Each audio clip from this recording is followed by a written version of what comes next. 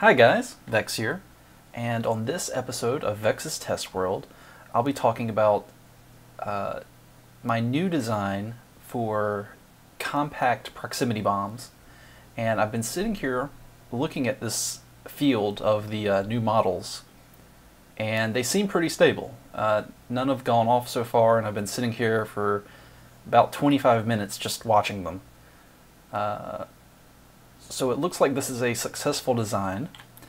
And so let's fly back over here to my building area and I'll show you what I made. Now this is the first in what will hopefully be a series of new designs and because I have I have more ideas to use but this uses blaze spawners. Now for this example model I have replaced the blaze spawners with pig spawners because this design does function on peaceful, so even on peaceful difficulty, and I've got it on normal now, but even on peaceful, the blazes will still spawn in here and uh, set off uh, the proximity bomb. And this model is pretty simple. It is, uh, let me take up the pressure plates too so I don't accidentally step on this and blow, it, blow myself up. It wouldn't be the first time, I promise you. I've had construction mishaps before. But this is very, very simple. It's two blaze spawners, and then you have here is the glowstone that stops natural spawning, and that's hidden behind a wall of TNT. Uh, so the light level over here, I think it's like uh, 1, 15, 14, 13, 12. I think the light level over here is around 11, which is sufficient for blazes to spawn, but nothing else. So you just come in here, and I'll show you this again, really, really simple. Just make that little curve, and then put in the pressure plates and then fill in the empty spaces with some more payload to make the explosion bigger. And this space right here is for the blazes to spawn. And then you just cover it up, and let me get some actual stone here. And you seal it up.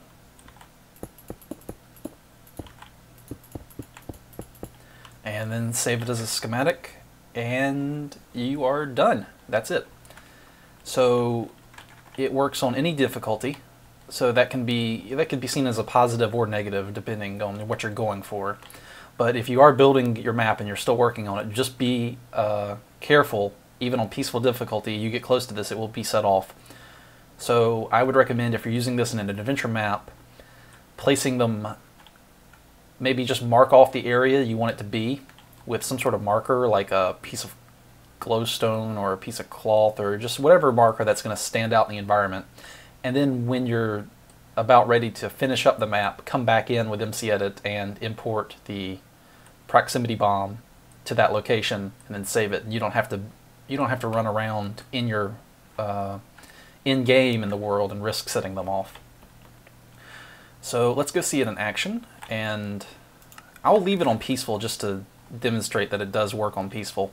And you can see compared to my very first proximity bomb design uh, this thing is it's it's uh, five by five by four, so it's five wide, five long, and then four tall. And it's much. I mean, that's like one. It's like a third of. It's a third of the size of my original model. so I'm pretty pleased with it. And let's go over here and set a few of these off.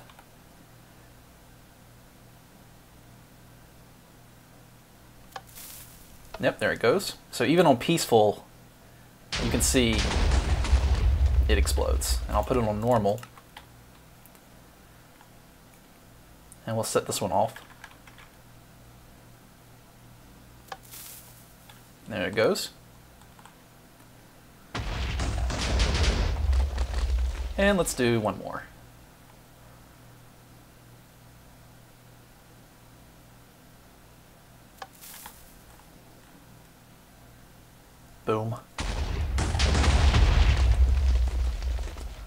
Okay, and that one actually left, surprisingly. Kind of surprised it was left these blocks up near. That's okay. Uh, there's no... Um, it's definitely going to... There's no redstone involved. It's just pressure plates and TNT. So there's... Even if the pl player tunnels into one of these without it going off, then uh, there's not really anything. I mean, there's some TNT in the blaze spawners if they wanted to make like a blaze grinder. Uh, but other than that, there's not nothing really there. I mean, it's a it's a few pieces of TNT in the blaze spawners. So, yeah, even even less resources than than uh, my original design. So I think that about wraps it up for this quick video. Uh, the next video will be uh, more more designs because I'm not done with just this one. Uh, I want to try out different designs and I'll make a, a, short video for each each one. And the I think the next one will be using cave spiders to make an even more compact design. And probably the one after that I will be experimenting with fences uh, because monsters do not spawn on fences. And you can put pressure plates on top. And the pressure plates sort of work. You have to be beside it, not on top of it. It's kind of weird, and I'm not really favoring that design because I'm not sure how that mechanic of the pressure plate and then bumping into it from the side because it causes redstone signal.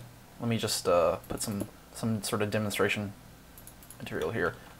See that that does work, but I don't know if that that behavior will change in a future patch. So I would like these designs that I make to be future proof to have you know uh, to make it really unlikely that they'll stop working. So so I'm I'm still on the on the fence about the fence. Oh God, that was bad. I'm still on the fence about the fence uh, technique. Um, but yeah, next video should be cave spiders. So that's it. Very simple, very compact blaze spawner based proximity bomb, and I will see you guys later.